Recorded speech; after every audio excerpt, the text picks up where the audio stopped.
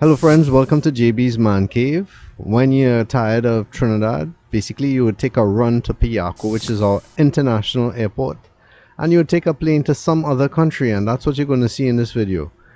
I am going from the west into Port of Spain, and from Port of Spain to Piarco, the airport.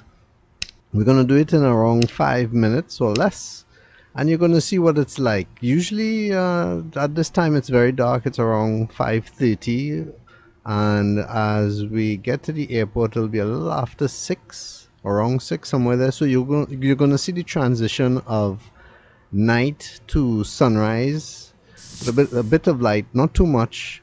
But that transition is something that most of you have would have seen uh, if you went on a plane to another country. Usually planes here leaving for instance to the states or Canada would leave at uh, early in the morning you would have to check in around 5 a.m 6 a.m depending.